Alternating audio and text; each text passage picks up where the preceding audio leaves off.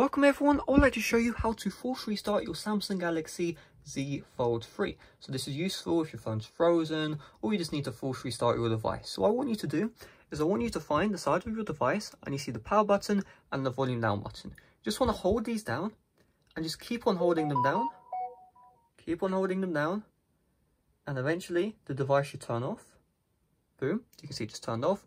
Keep on holding though until you see the Samsung logo. We'll just keep on holding it down. And we should see the Samsung logo eventually. We should see it any moment now. It's taking its time. There we go. You can see the Samsung logo has just shown up. Once you see that, you can release any buttons on the device.